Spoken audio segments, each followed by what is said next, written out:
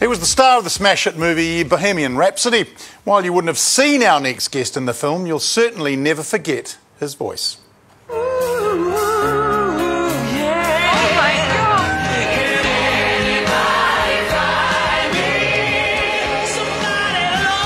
When someone first told Marc Martel he sounded like Freddie Mercury, he took it as a compliment. Now that uncanny ability to channel the late Queen frontman is taking him around the world. His vocals are so spot on, Queen picked Marc to cover for the great man himself. In fact, the producer of Bohemian Rhapsody said the hit film would not have been made without him. Over 125 million online viewers agree he's the closest thing you'll ever hear to Mercury. He's now in New Zealand, so you can judge for yourself.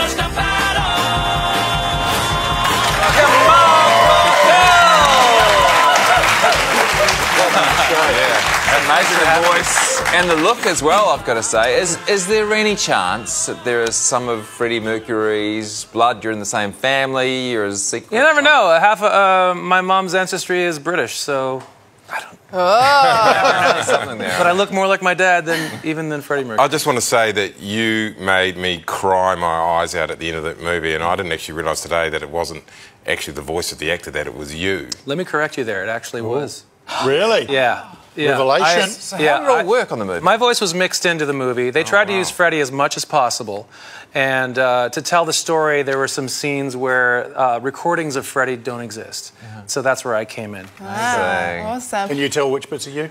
I can definitely tell. And people, people who know my voice and been listening to me for a long time can tell. Well, you still but the made me goal cry. was so, You s- to make it seamless. You still made me cry during rehearsal here. Yeah, There you go. There you go. I'll take that. Marc, Marc is going to perform for us tonight, by the way, so make sure you don't miss that. We can later all on. cry together. Yeah. Performing in front of Celine Dion. I mean, that. What was that experience Uh, like? I was pretty nervous. You know, I don't, I don't remember a time in my life. I'm from Montreal, so I don't remember a time where the name Celine Dion wasn't a thing. And so to be able to sing in front of her and her be so emotional at the same time It was so surreal. Um, so yeah, that was a really crazy time. You Canadians a bit like Kiwis. Do they just sort of like you and Bryan Adams catch up as well? All the time, yeah. there's only about six of us, so you know, so we, we all know each other. When I want to know when you discovered you had the Freddie Mercury gift, or whether it was something that you worked on, sort of realised, or how, how did that all come about? Um, the way that I learned to sing, I never took voice lessons, uh, but I listened to sing. Uh, I learned to sing by listening to the radio. Uh, but uh, shockingly, I never heard Freddie on the radio on the stations I was listening to. Uh, first time I heard Queen was in the movie Wayne's World. I was in my mid-teens. And uh, but it wasn't until my voice matured later, and I started my own band, and people would come to our shows and say, "You know who you sound like?" And it was literally every single show. I would count at least five people every single show. So you know, I couldn't escape it, so I had to embrace it. And, and have you ever had feedback, you know, from like Brian May, you know, the, the surviving members of Queen? Mm-hmm. Yeah. Have you had some feedback about what they, what, what does he reckon? I, I uh, was in uh, the official tribute band of Queen uh, for five years, which is run by Queen. Oh, wow. So I've worked, I've worked with Roger Taylor and a little bit with Brian quite a bit, and it's, and even it was surreal to sing for Celine, but to sing uh, Freddie's music in front of Roger, uh, who drummed behind Freddie himself for 20 years, um, and to see him get emotional is just, I can't even explain what that's like. That's Was it- so strange. band called Tribute Band to Queen, or did it have one of those tribute bands, slightly different names? Yeah, it's called. It was called the Queen Extravaganza. Okay, fair enough. Uh, and they're still around, uh, but now I'm here in New Zealand with the Ultimate Queen celebration. And what other doors has that part in the movie open for you? Well, people seem to know my name a little more than they did in 2018, um, and but also due to my my YouTube videos, I released a I, I recorded myself performing Bohemian Rhapsody Yeah, um, on hundreds of millions. Yeah, many millions of views, and and um, you know my face isn't in the movie, but people recognize my face, I think, from from the YouTube. What's the hardest Queen song to sing? The hardest that I sing on a regular basis, probably "The Show Must Go On." Okay. Uh, it's a it's, you know it's a very screamy kind of song, and it's usually near the end of the two-hour set. So I'm, Wow. you know, it's when my I'm maybe a little tired by then. Uh, so if I can sing that one well in a, in a concert, then I feel like it's been a good show. Okay, well, Marc's going to perform for us tonight. Sorry, can't I? And um, He's saying sorry because it's got my name on this bit in the auto cue, but you go, babes, you do it. okay, uh, and uh, it is a song that you are going to recognise and you're going to Great. love it. He's performing around New Zealand, uh, and for now, please thank Marc Martel. Thank you so much for watching. Before we go, you can catch him performing in Wellington, Hamilton, Auckland, and Christchurch this week, performing Queen's amazing song "Don't Stop Me Now." Here's Marc Martel.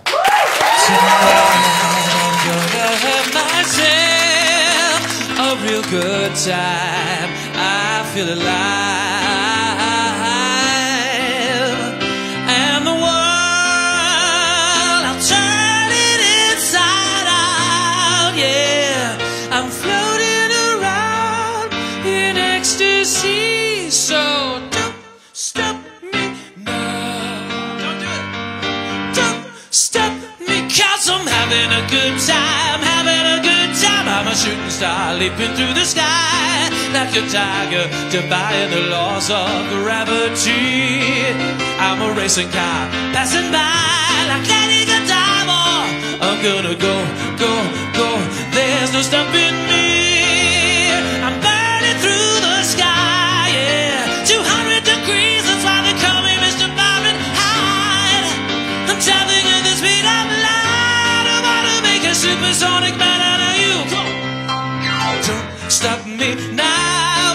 Such a good time.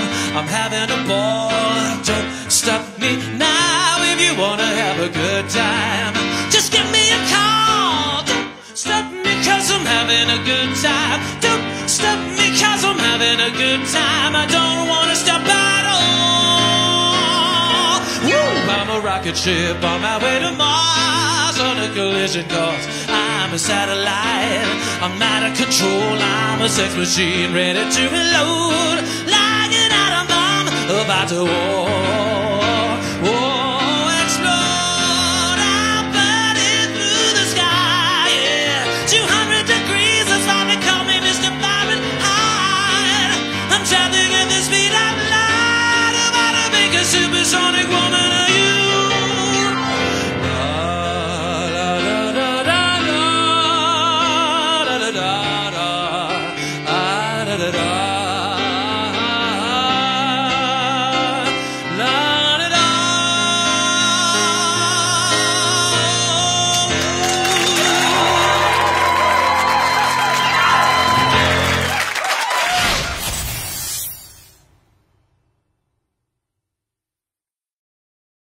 Uh, we've had him here before. We have him here again, and he's always welcome on the program. He's in New Zealand for his ultimate Queen celebration tour, and he joins us now. G'day, Marc. G'day. Welcome back.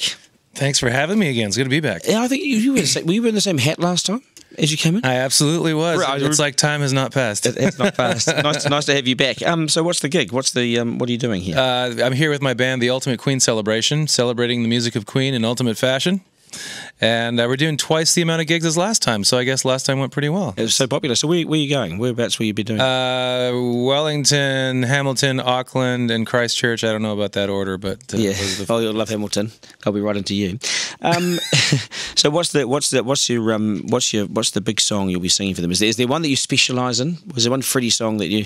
What did you sing last time you were here? What- what- I don't. I honestly don't remember. Uh, You guys are you're so early that I want to uh, say my- Fat Bottom Girls, is I think No, what you're saying wasn't. for us. That was a late request in the interview. That might have been no from idea. your did it very request. well. Yeah, no, you did too. Well, Yes, you did. I'm pretty sure you Did I do that? Yeah, it was fantastic. You did two for us, I think, and both were brilliant. Is there a song that, you, you, that is your specialty with Freddie? And is there one that you you, you can't do? Uh, okay, so specialty. I always love doing "Love of My Life," um, just because it, it just kind of grabs everyone's heartstrings.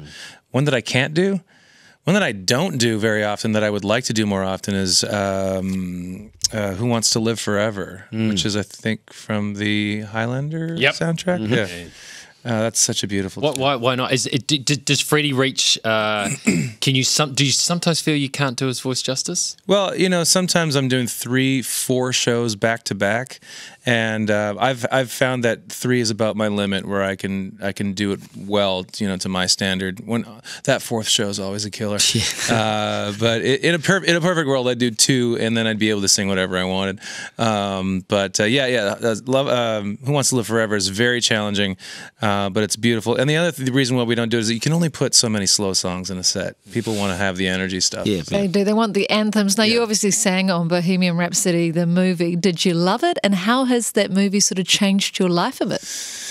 Um, I mean, it's, it's de- I'm definitely busier. Um, I don't know that it's necessarily changed my life. It's it's definitely it was definitely an experience that I'll never forget. Uh, working on on the thing, and uh, you know, it was my first time seeing behind the the scenes in, in anything movie related. So you know, coming from the music world, it was a lot of fun. Um, but uh, yeah, you know, they a lot of people think that I did the whole all the vo- vocals in the movie, which isn't true. You know, I, they they brought me in to fill in the gaps, and uh, they used Freddie as much as possible. But but it changed your life? I don't know. I feel like the same guy as I was uh, last time I was here. But, it, but is there more of an appetite or a resurgence of Queen? Have you noticed that? Uh, It really has proven that there seems to be no bottom to the world's appetite for the music of Queen. Like it's taken us all over the world this year. We've been to South Korea, the Mediterranean, uh, Eastern Europe. Oh, it's changed your life. Yeah, absolutely. There's the proof. There it is. There you go. Can't deny it. The, you, you're filling venues doing Queen. Yeah. Um, why why do you think Queen fills these venues when it comes to the, you know at what you're doing a celebration, a tribute to the band? Well, what what other and, and what other bands do you think could have the same effect? around I don't know, honestly. I mean, obviously the Beatles have a lot of tribute acts, um, and we do, we do it a little differently. We don't dress up and pretend like we're Queen, and I think a lot of people are attracted to that. We're just being ourselves on stage and just re- reproducing the music Not wearing the really tight- excellently. Tight shorts and no. No, none of that. Unfortunately, I wish I could pull it off. Uh, Because you only listened to Freddie about a decade ago. Wasn't that the first time when you first heard him? That's been longer than that. I, I would say the early 2000s is when I started getting into Queen. My my bass player in my band told me, you know, because he knew that I'd learned to sing from listening to other singers, and because I never took voice lessons, um, so the radio was sort of my voice teacher. And then he knew he was a huge Queen fan. He's like, you ought, you really ought to check out Queen, um, and so I did. And then uh, I, I immediately fell in love with Bohemian Rhapsody, and uh, just tore it apart. You know, I, I actually re-recorded the whole thing in my little bedroom studio in like 2004, and I'm thinking I might release that someday just to show people how far I've come. But uh, how do- my bedroom, yeah, yeah, it was a bed, Was it? Uh, no, oh, was it bad? Uh, no, it's actually pretty good. I go back and listen to it every now and then. Because how do you prepare for his performance? Because they are huge. You've got to give it almost 150%. Yeah, it's definitely. I don't really need to uh, go to the gym.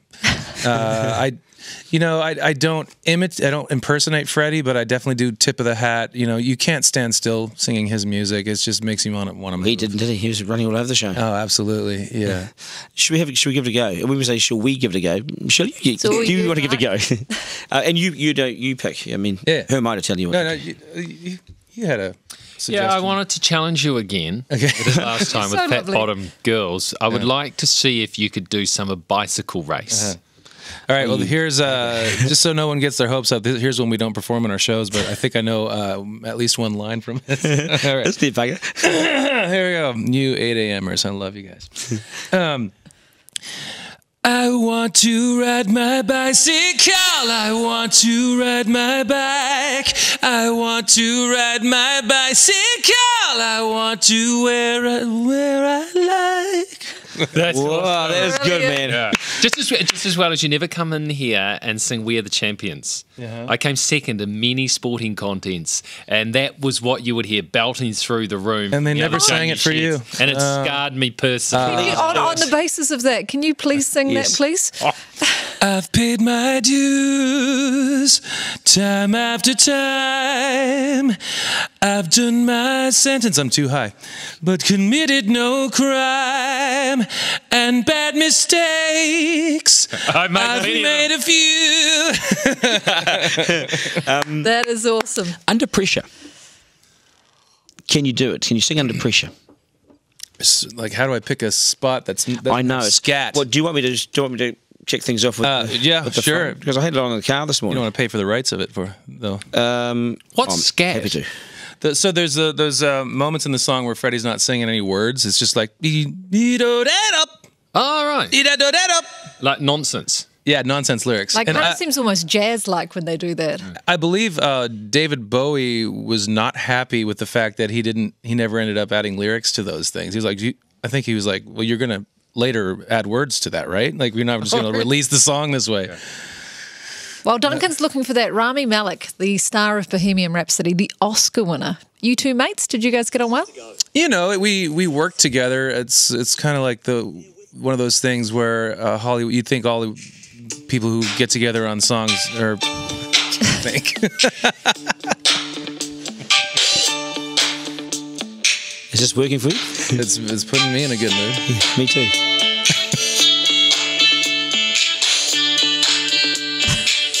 All right.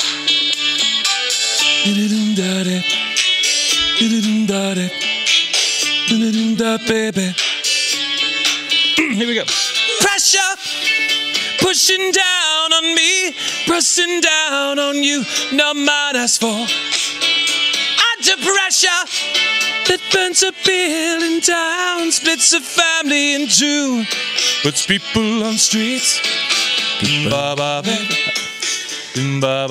Brilliant. We love you. Thank you so much for being here today.